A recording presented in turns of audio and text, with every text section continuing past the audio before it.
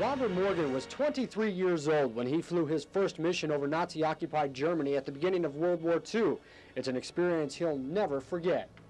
Just to give you an example, there were, in our group, 91st Bomb Group, there were 36 airplanes that flew across the North Atlantic to England.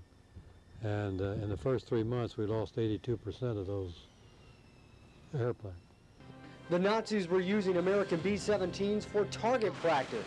Morgan and his crew were called heroes because they accomplished something no other air crew had at that point.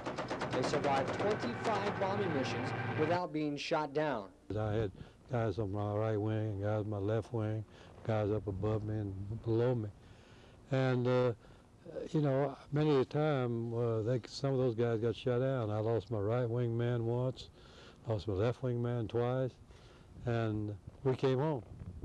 And, you, and you, you, know, you were so close in formation that that's miraculous that that happened that way.